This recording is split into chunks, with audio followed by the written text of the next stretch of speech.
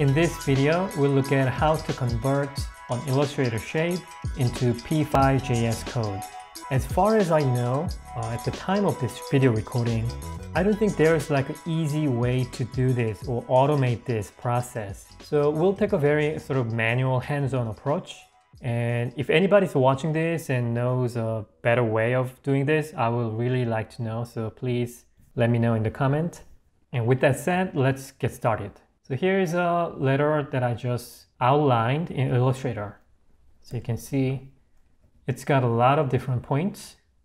And if you watched my previous videos that you know that we can translate these points into Bezier vertices in P5, starting with this Adobe Illustrator shape and then turn that into P5.js code. But here's an intermediate step. We'll first convert this Adobe Illustrator file into SVG code. And then SVG code will be converted to HTML5 canvas code. And then we'll be able to use it in a P5.js sketch. So the first step is AI to SVG. That's pretty straightforward because Adobe Illustrator, you can export a file into just SVG. Just delete this text and then come up to File, Save As. And here you can change the file format to SVG and then hit Save. I already had SVG file, so it's okay. I'm just going to replace it. Then you get this uh, pop-up dialog then instead of just hitting OK and save the file, we can also just get the SVG code here. Click on it, then we get this text file. If you know a little bit about HTML, it looks very similar to that, right? Because it's all using XML format.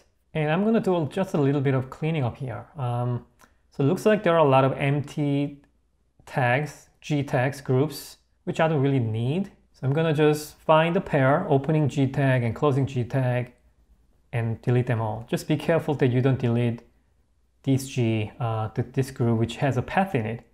Or in this case, I don't really even need this group, so I can even safely delete this one. And then the first two lines are just some extra information, some comments, which I don't really need. So all I'm left with right now here is a SVG, which contains a single path. So that looks good. So I'm gonna just select all and copy the whole text. Then I'm going to move to the browser where there is an online converter which will convert this SVG to HTML5 canvas code, which is JavaScript. And here I am at professorcloud.com online SVG to HTML5 canvas converter. I'll add the link down in the description. It works like this. You just paste your SVG code, which you copied from your Illustrator file, in this text box and just hit convert.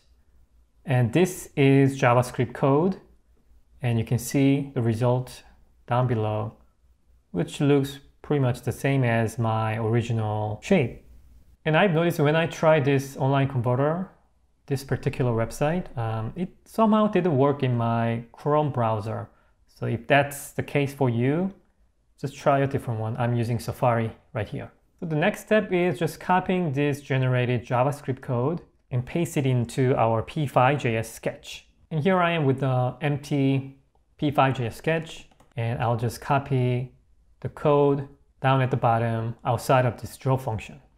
Looks like there's a lot of stuff going on, but it's just all contained within a function called draw.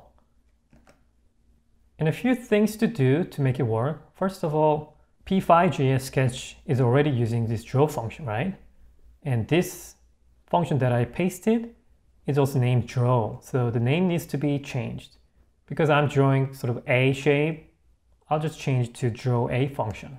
And I might as well just change the syntax a little bit so that it looks like the rest of my sketch.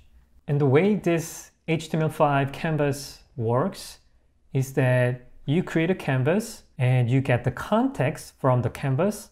And using that context, you can draw lines and shapes and change colors and etc. So that's what this CTX is for. Every time you call like drawing function, you have to call it on this CTX object. And P5.js is also based on HTML5 canvas.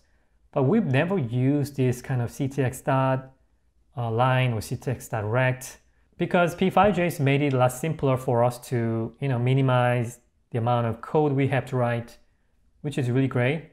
But behind the scene, this is what's going on. So we can sort of combine this canvas code with P5JS library code.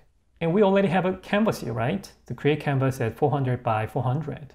I'm going to run it. And instead of just creating it, I'm going to save the reference here into a canvas object. And I will need canvas as a global variable. And let me just uh, console log this canvas.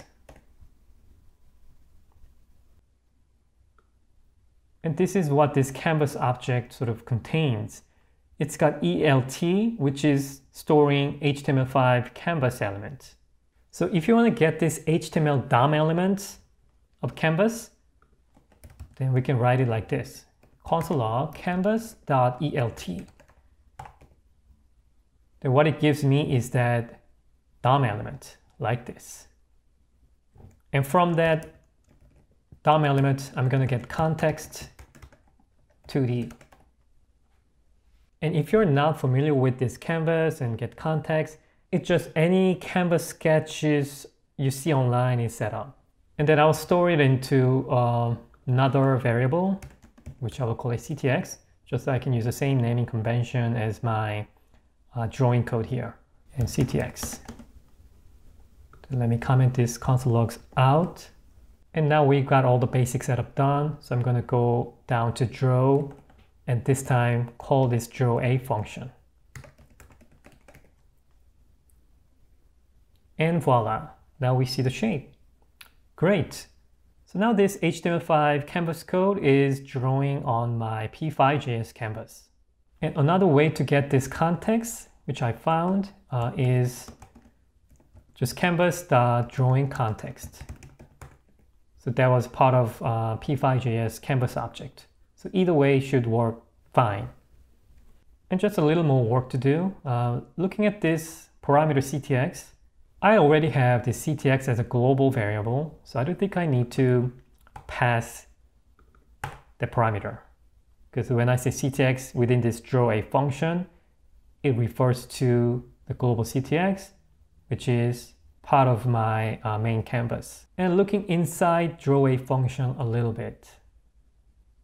And to be honest, I don't know much about this uh, HTML5 canvas code. I've only used it a little bit, but looks like there's um, begin path and close path, which we've sort of seen in P5, right? With the begin shape and end shape. And inside, we got some move to line to functions, and it looks like it's drawing this whole canvas sort of boundary right here, which I don't really need. I'm just gonna delete this whole section. And I'm not really doing any clipping, masking, so delete that as well. And there's a lot of translation going on, but they're all set to 0, comma 0, meaning it's not really translating anything. So I'm just gonna clean that up. And by the way, this is all because of, you know, the converter we used. It just automatically added a lot of basic code. And scale as well. 1, comma 1 isn't scaling anything at all. So delete that, translate, I can delete it. And we have save. So ctx.save here, and another one here. Then we have begin path with the lots and lots of uh, Bezier curves. And then all the way at the bottom, we close it. Then we set the color fill and stroke, and then we restore twice again. So save and restore function, they sort of work hand in hand. If you know how to do transformation in P5, like translate, push, pop, so that's what it's for. But again, I'm not really doing any transformation in this example. I'm also going to delete these two save functions and restores as well. So it looks better. And stroke style as well. I'll just uh, style it with P5JS stroke function, fill function. I'm just going to use any default setting we have. So just going to delete them all as well, which only leaves us with a begin path with a single sort of shape and it's also nice that it figured out this uh, counter shape in this path as well, which close right here, and then we set the fill and stroke. So that's how it works in uh, HTML5 canvas code that we apply these fill and stroke colors after we draw, which looks kind of different from how we do in P5. Anyway, so it's all cleaned up. Then because now it's just drawing to the same canvas, I can use stroke function if I want to change the color. And I can even change the stroke weight and fill color as well.